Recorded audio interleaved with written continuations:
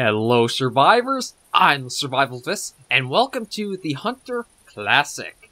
I wanted to bring back the hunting, well, another hunting game to the channel, and I actually got a comment asking a while ago if I could do the Hunter Classic.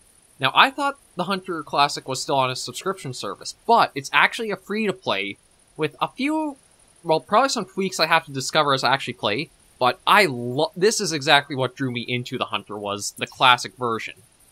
Like before Call of the Wild, this was like how the Hunter was, and one of the things I love is classic Red Feather Falls. This was probably my favorite map on the, uh, well, just in general for the Hunter.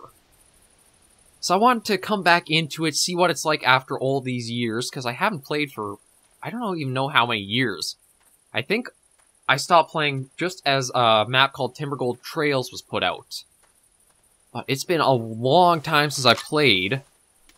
Actually, you know what? I should also see exactly what I have equipped right now. Like, I have a fairly extensive inventory of things. I know I have... Yeah, like, I've got... The cableback bow was one weapon I want to try to get better with. I got 300 bolt action. I just can't remember if there was a way of checking what was good for where, or like what ammo was good for what animals. I don't know if there's actually anything in game that you could do for that. See, yeah, nothing I can really see right off the bat.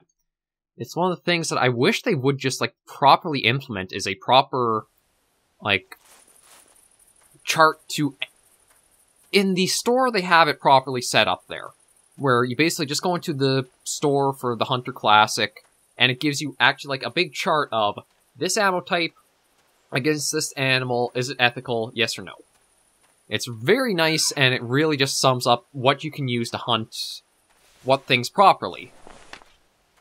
Unfortunately, though, I do not believe the game actually has it in-game to find out, to know for sure. But it does have things like archery range, which is like what I want to start with, just to see if I can kind of get a handle on how the cable back bow works. And then we'll head off and just do some more exploring, and I'm just going to live through a little bit of nostalgia for how much I played this game.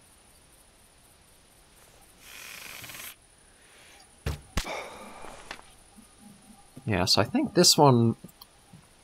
Actually, maybe Call of the Wild will help me here, because I think I'm more... Just going to get familiar with using more instinct aiming. Like, okay, well I say that, and that was a pretty bungled up one.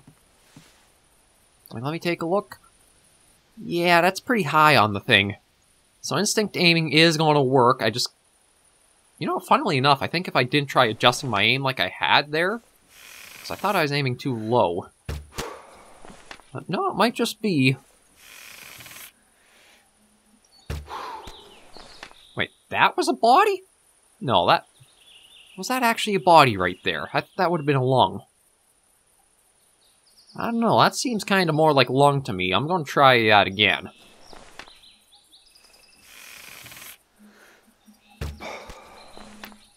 Really? I thought that would have been lung for sure. Maybe I'm just too far forward. No, that was definitely body. I know that one. But there were there are a few kind of like quirks. Okay, there we go. Left lung and wow, that was actually a good shot. There are some weird quirks with the Hunter Classic, though. One of them being how they did your progression system. Like, I can't actually show this stuff in-game because it's actually through, like, the website in a way. You can actually get the Hunter Classic on Steam, which then boots up a launcher for it, but, like... Oh, lordy, that... Okay, yeah, so the cable back bow is definitely only for, like, up-close stuff. Ooh. Because the wind will really take some of your shots. Yeah. Okay, so maybe I won't use the... Actually, I thought... Okay, yeah, Q is the auto lock. And then caps lock... No, caps lock is it? Okay, then... How the heck do you run, then? Oh, C. Although, truthfully, your run isn't exactly all that fast. Yeah, so this is a lot of nostalgia, me coming back to and relearning stuff. It does show its age a little bit, but there are some things that the Hunter Classic has done much better, in my opinion, than uh, Call of the Wild. One of them is when you're actually, like, you've taken down an animal. There's some really cool stuff you can do in the Hunter Classic. I think what I'm going to do... Uh, maybe I'll try taking out the bullpup there. Like, you do have to use... There is a fair amount of, like, uh... Microtransactions. So they are something you will definitely be putting up with if you do try out the Hunter Classic. No, I don't think I'll bring that. I do want to try bringing a boat. Man, is that the heavy... Oh, I didn't think I actually had that. Although I do gotta admit, one nice thing is that it does almost like auto set up things for you. So like, I okay, well I thought, you know, here, let me put that there, and then that's there. So those are what? Recurve arrow, standard broadhead. Okay. So I'll take a couple of those. Ammo is finite now. If you had a subscription, or I think you can actually still sign up for a subscription. Let's get that, and we'll get... Um, I guess we'll get that. You can still subscribe for, like, premium service, which will give you unlimited ammo for your weapons as you go out. I don't think it's a very... It's not an expensive subscription service. Oh, excuse me.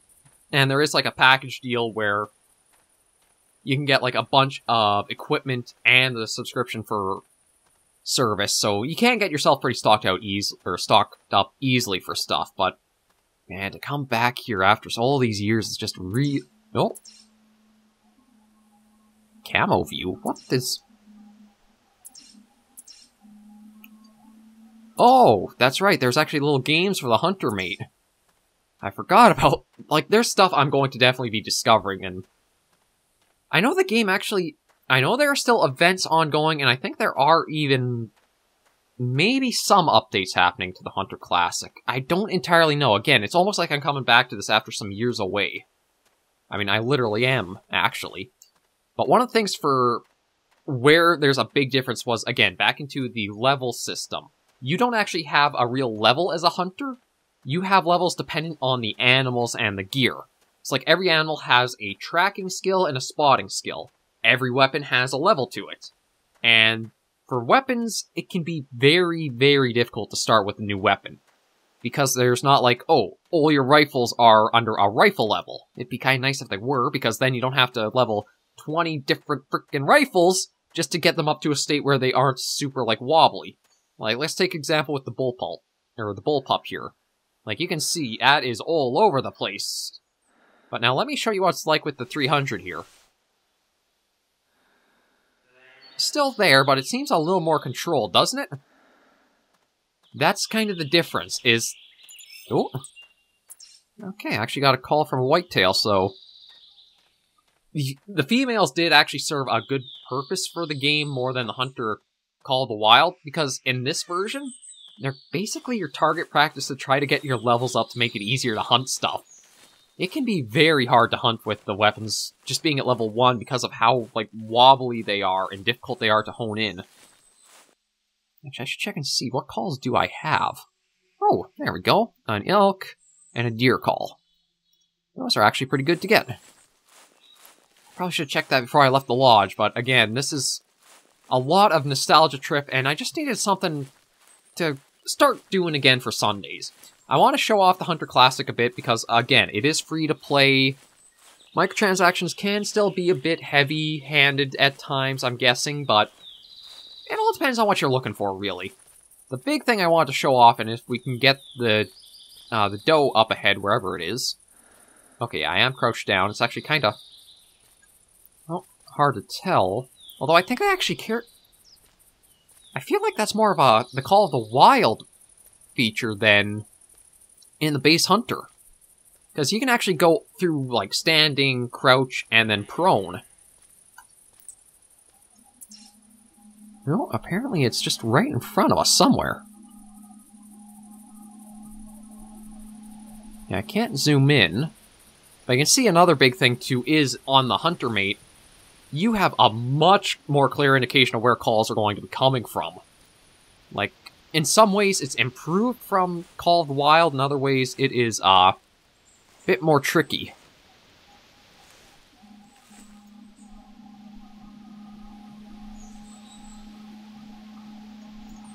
Like, my guess is maybe she's right down in the reeds there.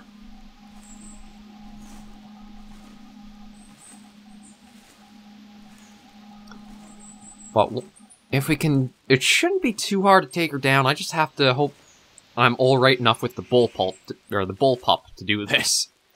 Again, I don't understand why it's so hard just to get the, like, compatibility chart in-game, so you don't have to have, like, a second... Basically, don't have to go to a second monitor or minimize and go back and forth of, okay, where does this line up with this animal I want to hunt after? Like, a big thing I always have is all your information for a game should be found in that game. If it's not, it's... Oh. Okay, so it sounds like she's more around here somewhere. Oh, there she is. Yeah, not too far off at all. I'm just going to crawl over here a bit. Oh, get our There we go. That should have been a nice heart shot. And just reload, and now we're going to get to show off probably the biggest draw Call of the Wild, or the Hunter Classic has over Call of the Wild. So let's just... The trophy shot. This is something that the Call of the Wild doesn't have. Oh my god, what do I even look like as a I'm like some kind of weird Canadian Crocodile Dundee. but you can do, like, manipulate where your character is, change their direction. Um, actually, let me, yeah, like, look at all the options on the right-hand side there. Let me see. I have a way of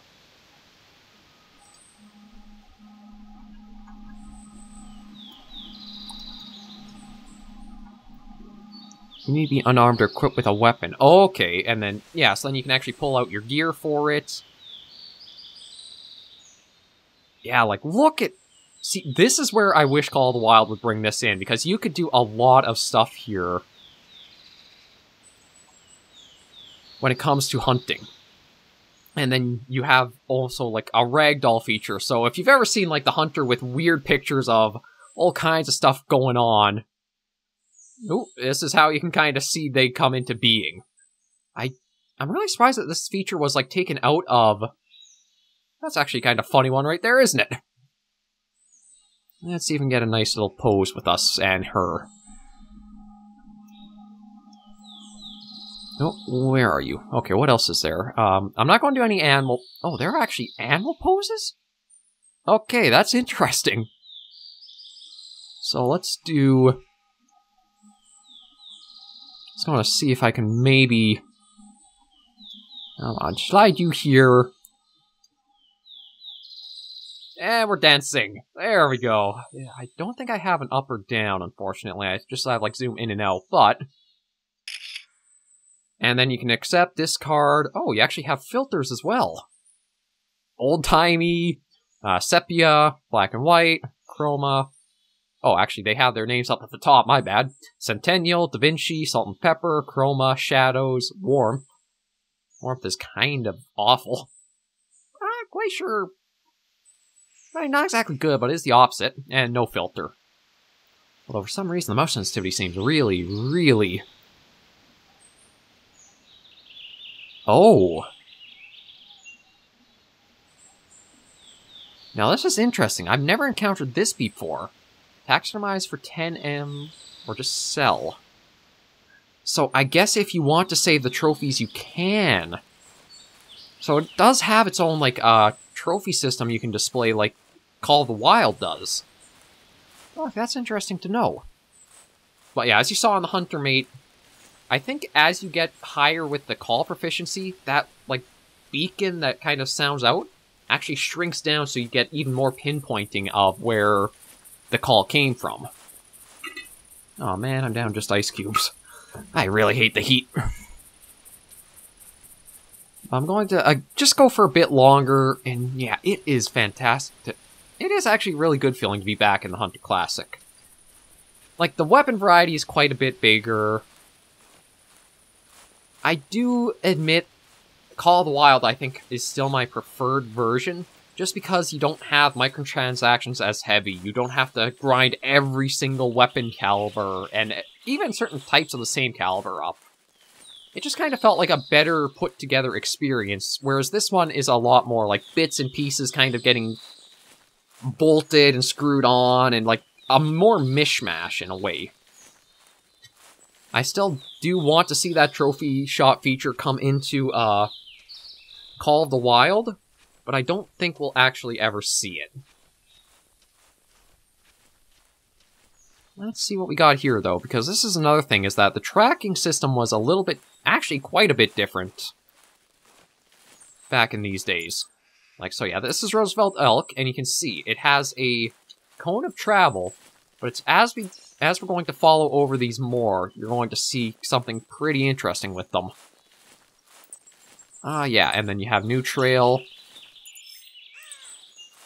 Mission, prove yourself tracks. Oh, that's right, I have a mission to do for something. Okay, yeah, so...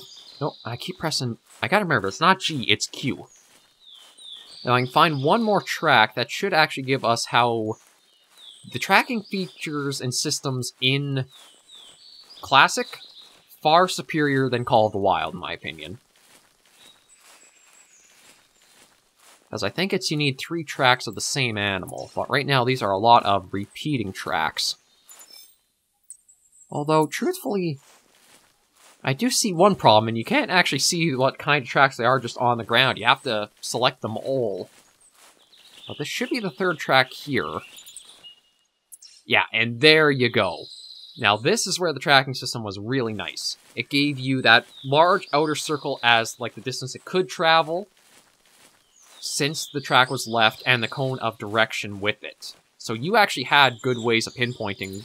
Oh, there we go. Now I can see some tracks. You had better ways of being able to pinpoint exactly how far the animal might be from where you last picked up a track from it. And depending on time frame, that dotted circle around in the little mini map there tells you that it's probably past that. But if that's a solid line, you know it should be within that radius of... Ooh. That'd be nice to find, actually. So let me get my caller out. No, is that... No, that's not the right one. That's not it. That's it.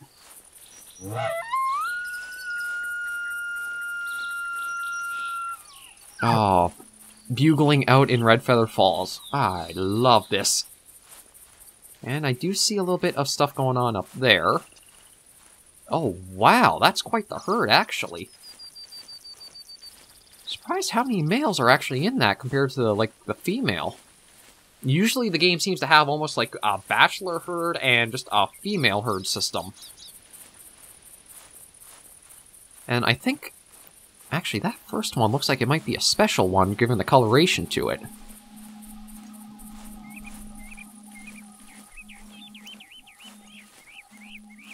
I'm going to keep an eye on that. Because see if we can maybe bring a in. Ooh, that one back there looks like it's a nice scoring one.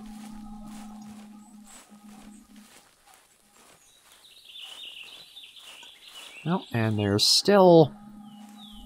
Yeah, you out there. Well, for some reason, I'm not quite able to... oh, that... okay, there are some nice-looking ones up there. Like, you're a good one, and so is this... I think that one there. It's just hard to see right now because of how it is with the trees. Oh, no, that's right. I need to... It's four that I gotta use. Okay, one problem is, though, it still feels like when you do go into your uh, prone position, super, super close to the ground so you can't actually see anything.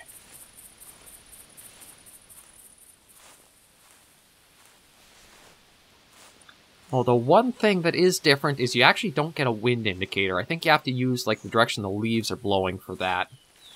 you actually have an item called Wind Indicator, which is basically like a little spray can that just puffs out a bit of smoke so you can see the direction.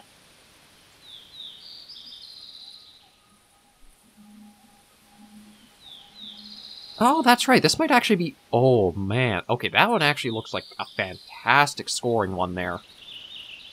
It's probably going to be hard to actually, like, get a... Oh, see, you are another really nice-looking one. I think... No, where are you guys going? No, no, no, no, no. Come back.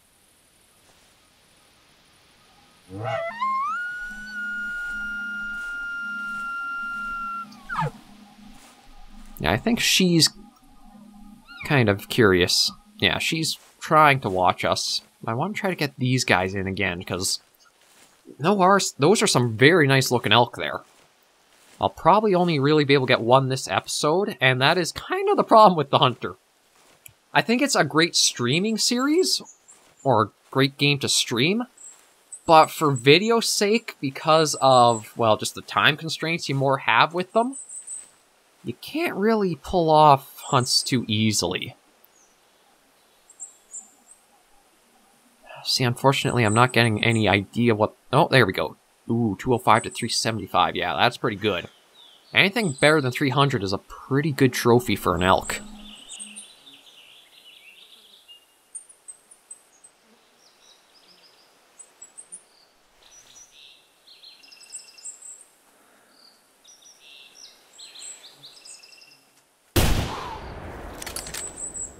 So I'm going to take you, and that's going to send everybody off, but now this is... Ooh. Actually, I'm surprised that... Although those might just be the females, so that might not hurt... I might have even actually split them up. That would work out well, because if this is all the males now stuck on this side, it might be easy to get them in without having a female, like, accidentally giving us away from getting too close. Okay, now let's take a look at you, because you are a pretty good-looking specimen right here. Look at the rack on that. What do you score? 300? 317. That is a very nice one. And again, it's... Okay, let me just get help again. Okay, so I'll probably keep the bull pup for the animal.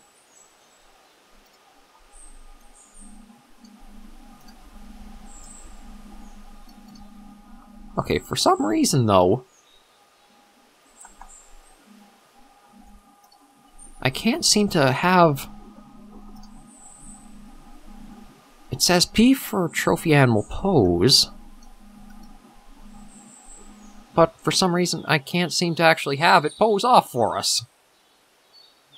Okay, let's slide me over there.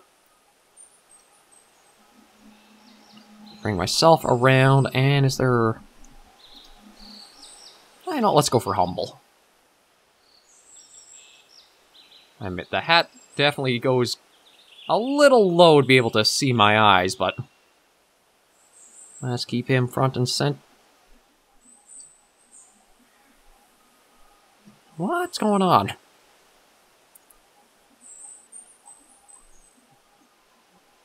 Ah, oh, yeah, see, I wish I could, like, lift and drop the camera, but this is this is the big draw for me for the Hunter, is you can actually get some really nice shots like these.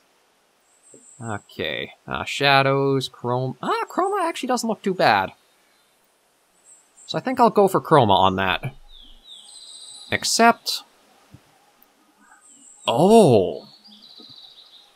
So you can actually earn in-game money. So GM is the money you use to buy things like ammo, weapons, Actually, I'm not even sure if weapons. You might be able to with with it, but so you can actually earn GM just from hunting and. Okay, I think the hunter is definitely uh, worth another check. With it now, these systems in place. I'd have to check if you can actually buy weapons, but now that I know you can buy ammo just from hunting and continuing to do so, oh yeah, this is this is changing it a lot. Oh, actually, is there something over there? There is. Looks like just an elk, though. Yeah, I think that's just one of the females that got scared off because of the shot we took. But yeah, I gotta admit, coming back the Hunter Classic and now seeing that's how it kind of integrated some of its stuff, I'm digging it. I'm really digging it.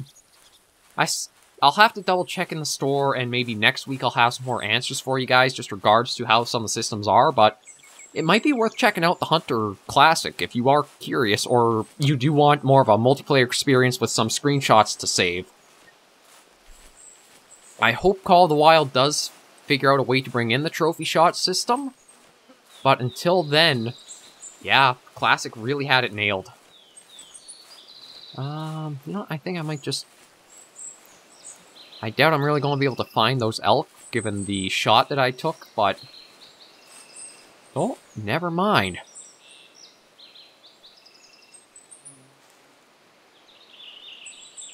I mean, it is kind of cheap, but... No, no, he got fixed. I was going to say, I was going to take a shot right off on him there, but... Of course, leave it to when you're actually getting ready to make use of that little bug that they get out of that. Surprisingly enough, that actually happens a lot less in the Hunter Classic than Call of the Wild, so... It's weird. This older one seems more polished than the newer one, in a way. Again, it's an interesting mix between the two, but I still think Call of the Wild, just because it's not as microtransaction heavy. Like, if you want to get new weapons or that, you can mostly unlock quite a variety just playing the base game of Call of the Wild. The Hunter Classic here, I'm not so sure of. I think you are going to probably have to look at uh, buying, using, like, microtransactions for new weapons and stuff. But, I mean, it might have changed since, so hard to say. They definitely fill two very similar roles, but you might have different experiences with them. This Hunter Classic is generally seen more as the Hunter Sim compared to the two, whereas Call of Wild is more of like an arcade one. So if you're looking for more of like hardcore hunting, this is probably the one you'll want to take a bit more interest in. I think Call of the Wild does work better for like I like YouTube videos just because with its style being more for arcade, you have more action and just stuff going on in the series. Like he's a ways out, but I might actually be able to get him. You know, I think I'm going to be able to get him. Oh, no. No, I'm going to have to approach and probably get into prone position. Because of the sway on the bullpup, or the bullpup I'm using. And again, the only way to really reduce that is just practice to keep using it more.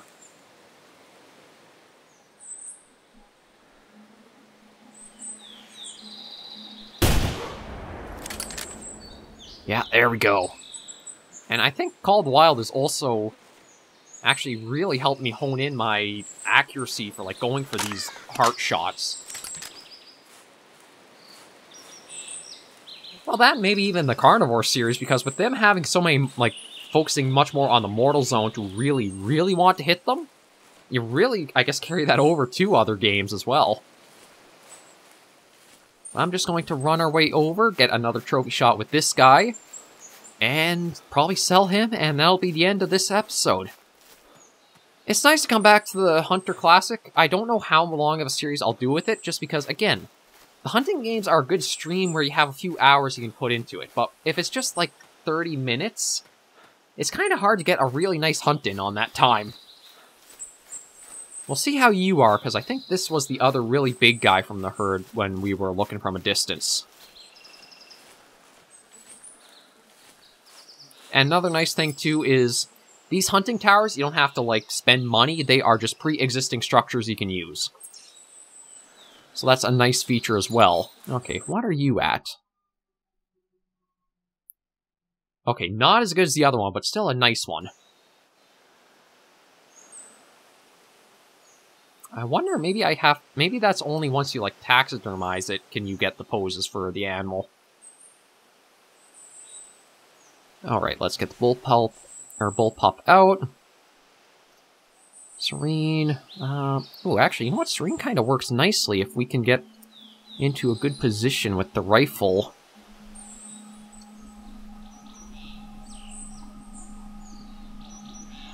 I just want to get the full... Yeah, there we go. And maybe I'll try that chroma filter again. Um, actually, maybe not, because all it really seems to do is super bring out the blood that's over there. You know what? We'll keep Chroma and use that. So we'll accept. And yeah, so need own trophy lodge to display it. So I can taxidermize it. I EM bucks or M bucks I think are your cash for their currency, and the GM is for like game money. We'll just sell. And with that, I think I will end this episode of The Hunter Call of the Wild right here. Thank you guys very much for joining me on this little first entry of this possible series. If you want to see more, be sure to let me know in comments right down below. Again, I'm just trying to figure out what series to put on the channel, and because this is a nostalgia trip, I thought I'd do it for maybe a video or two, see what you guys are reaction-wise to it, and how I'll go from there. But for now, this was a nice little trip into the Hunter, just its other entry. So, let me see. If you did enjoy the video, be sure to give us a like. Any comments, tips, tricks, be sure to leave them in comments right down below. Oh, excuse me.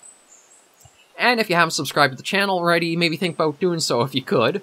I'm still trying to build us up to that 500 sub mark, and then streaming is probably going to happen after we hit a 1,000. Quite a ways off, but maybe something will change and the algorithm will bless me from the heavens and the channel will grow from something like that.